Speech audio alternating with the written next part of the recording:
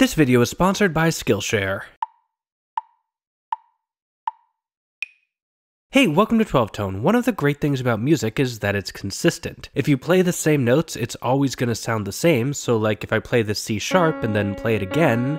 Uh, whoops. Okay, let me give that another shot. If I play this C sharp and then play it again. Huh. Alright, one more time. C sharp and again. Alright, I know these may not sound super different, but they're not quite the same thing either. Here, listen to what happens if we play them together. Something's definitely out of tune, so what's going on? At its heart, the issue here isn't really with this C sharp or this C sharp, it's with this A. You see, if we start there, go up an octave, then another octave, and finally a major third, we land on C sharp. We've gone up a total of 28 half steps, which is a pretty long way, but we can still easily work out what it's supposed to sound like. But that's not the only way way to get there. If we instead start back on that low A, go up a perfect fifth to E, another perfect fifth to B, another perfect fifth to F sharp, and then finally do one more, we'd expect to land on the same C sharp, but what we actually get is this. It's still C sharp, I mean it's a perfect fifth above F sharp, so what else could it possibly be? But it's not the same note. So how did that happen? Well, confession time. I've been using some sleight of hand here. I'm not using the intervals you're used to hearing in modern music, I'm using a special kind called a just intonation intonation interval, which is like the pure mathematical ideal. You see, when you hear a note, what you're really hearing is a sound wave with a specific frequency, and when you hear multiple notes at once, your ear effectively calculates the ratio between those two frequencies to determine the interval. So if you've got a 1 to 2 ratio, it's an octave, 2 to 3 is a perfect fifth, and 4 to 5 is a major third. For reasons we'll see in a bit though, modern tuning, often called equal temperament tuning, doesn't actually play most of these ratios exactly. It just approximates them and trusts that your ear will recognize what it's trying to sound like. Just intonation, though, is stricter. Advocates for its use reject the idea that approximations are good enough and instead try to perfectly reproduce the ratios so the intervals are completely pure, and therein lies our problem. Let's go back to our interval stacks. In the first case, we went up an octave, which is 1 to 2, then another one, which gives us a total of 1 to 4.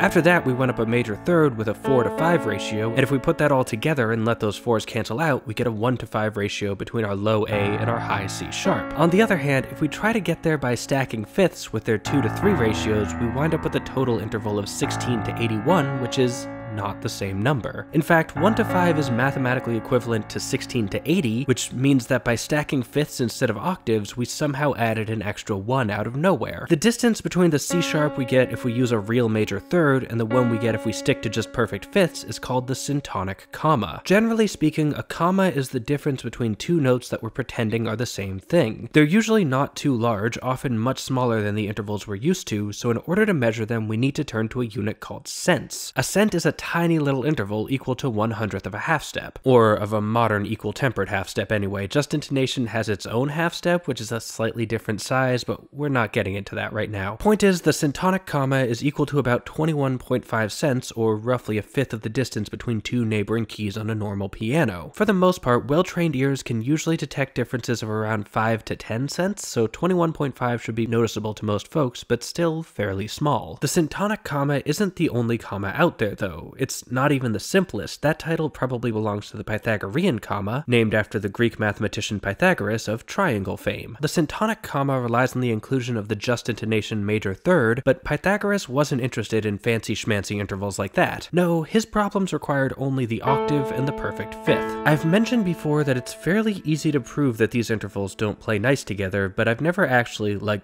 proved it, so I figured now's as good a time as any to do that. The math gets a bit tricky here, so don't worry if you get lost in this next bit, I'll summarize the important parts at the end, but basically we're going to use a technique called proof by contradiction, where you assume the opposite is true and then show that that leads to an impossible result. So let's start by assuming that if you keep going up by perfect fifths, you'll eventually get to a note that's some amount of octaves above the place you started. Let's say x octaves is the same as y perfect fifths. Well, going up x octaves means multiplying the frequency by 2, then 2, then 2 over and over x times, so the total ratio is 1 to 2 to the x. On the other hand, going up y perfect fifths means multiplying by 3, then dividing by 2, and repeating that process y times for a ratio of 1 to 3 over 2 to the y. If these are the same ratio, that means 2 to the x equals 3 over 2 to the y, and we can simplify this by moving the denominator to the other side, giving us 2 to the x plus y equals 3 to the y, but these two numbers can't possibly be equal. I mean, first of all, this one's always even and this one's always odd. Actually, there is one solution. If x and y are both 0, then this is 1 equals 1, which means that going up 0 octaves is unsurprisingly the same as going up 0 perfect fifths. But, and this is the important part, so if you tuned out, now's the time to tune back in, once you start moving, these streams will never cross again. But that doesn't mean they don't get close. It takes a while, but 12 perfect fifths is actually almost identical to 7 octaves. I'm not going to play it, because 7 octaves is a huge distance. For reference, your standard 6-string guitar has a range of roughly 4 octaves, so this interval is almost two whole guitars wide. But I can tell you that, after all that distance, these two notes wind up only about 23 and a half cents away from each other, which is pretty spot on. And there's plenty of other commas out there too, infinitely many in fact, depending on exactly how deep you want to go. But what's the point? Well, besides being fun to think about, the reason commas matter is that they're effectively the villains of tuning theory. Or maybe they're the heroes, depending on your perspective, but they're what makes tuning hard. If there were no commas and we could just stack all these different intervals together however we wanted and still get the same results, then we could pretty easily work out the best possible tuning system, or at least the one that most accurately reflects all these different just intonation intervals, which is admittedly not the same thing as being the best, but it's a fairly common goal. Unfortunately though, we can't do that the commas won't let us. Instead, what we need to do is temper them out. Tempering a comma means effectively deciding which one ratio you're going to use to represent both intervals. You can declare that one version is more important than the other and just use that as the proper frequency, or you can split the difference so that you're not actually playing either one correctly, but you're at least close to both. Equal temperament is a good example. For the Pythagorean comma, it decides that octaves just matter more, so it keeps those exactly correct and then shaves a little bit off each each perfect fifth, so that 12 of them does wind up at the same place as 7 octaves. For the syntonic comma, though, it compromises. We already shrunk the fifths, so clearly that one's out the window, but we don't really play a just major third either. The equal-tempered major third sits in the middle, higher than the low version, but lower than the high one. Equal temperament's a fairly blunt solution, though. All the notes are the same distance apart. History is full of systems that better maintain the purity of just intonation, each with their own trade-offs. For instance, one of the oldest systems we know of of his Pythagorean tuning, which tries to work around the Pythagorean comma by tuning all their fifths perfectly,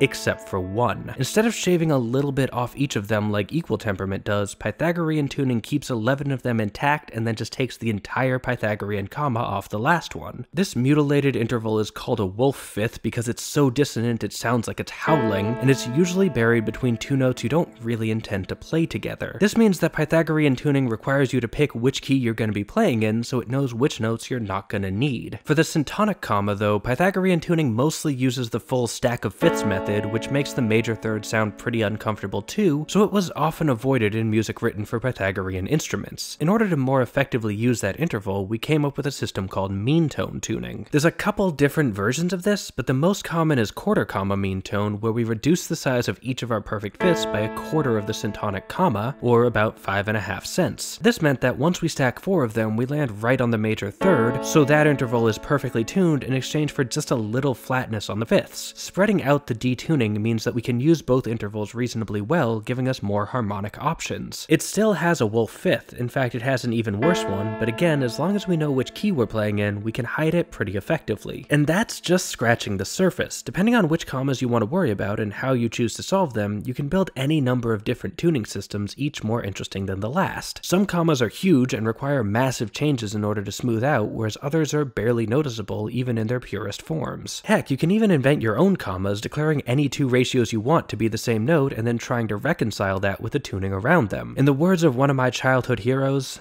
the power is yours. And if you're looking to get more powerful, you might want to check out this video's sponsor, Skillshare. Skillshare is an online learning platform with over 25,000 lessons in just about everything. One course I've been enjoying is called Remixing Dance Music by a DJ named King Arthur. It walks you through the steps of taking a piece of music and reworking it for a new setting, as well as covering some of the most important compositional differences between radio music and club music. It's a really interesting look at a kind of songwriting I don't have much experience with, and it's just one of the hundreds of great music courses on Skillshare. Plus, they're offering two free months of premium membership membership to the first 500 12 tone viewers to click the link in the description. And while you're there, why not check out some of their other sections too, like cooking, graphic design, or computer programming. Whatever you're looking to learn, odds are Skillshare can teach you. And hey, thanks for watching. Thanks to our Patreon patrons for making these videos possible. And extra special thanks to this video's featured patron, Duck. If you want to help out and get some sweet perks like sneak peeks of upcoming episodes, there's a link to our Patreon on screen now. You can also join our mailing list to find out about new episodes, like, share, comment, subscribe, and above all, keep on rocking.